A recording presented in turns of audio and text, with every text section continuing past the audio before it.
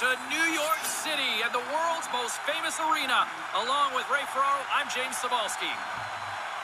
Two teams jostling for positioning in the Eastern Conference set to collide tonight, Ray. Recent history will tell us this conference is really difficult to earn a playoff spot in, so these direct conference games are critical.